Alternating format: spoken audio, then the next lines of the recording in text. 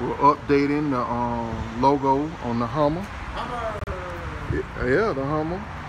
Doing it in red. He's doing an excellent job, guys. It was originally gray, but we're doing the red. Told you I'm not gonna overdo it. Just enough to give it a pop. And then we're gonna come up here and we're gonna do carbon fiber on the hood. So we're gonna be carbon fiber covering this part up here and the red inserts right there. But um, yeah, there we go. Red inserts. We're gonna do the rest of it later.